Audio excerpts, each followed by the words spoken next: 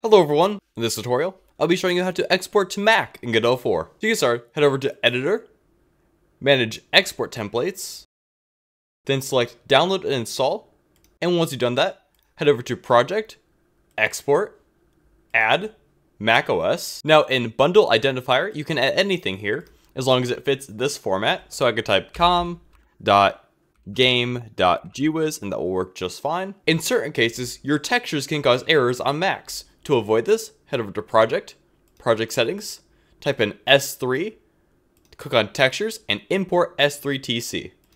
And save and restart. Now back in the Export menu, select Export Project.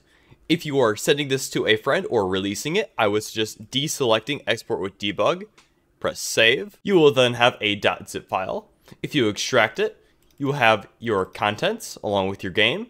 Your game will be stored in the Mac OS folder right here. If you have any issues running this on Mac, you will need to go to System Preferences, Security and Privacy, scroll down to Open Anyway, and then type in your password, and then the file should open up normally. Now simply open up that file that we looked at before, and now your project should be running on Mac. Anyways guys, if you have any questions or comments, please leave them down below, and don't forget to like and subscribe. Thank you.